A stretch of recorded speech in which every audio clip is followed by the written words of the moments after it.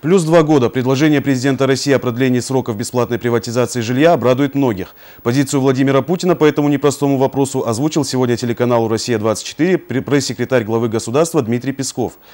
По действующему законодательству с 1 марта россияне лишаются возможности бесплатно оформить жилье в собственность.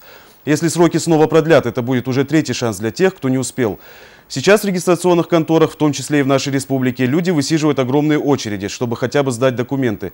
Впрочем, на предложение Путина Госдума отреагировала молниеносно. По заявлению вице-спикера Сергея Неверова, Нижняя палата будет рассматривать его уже завтра, с учетом социальной значимости.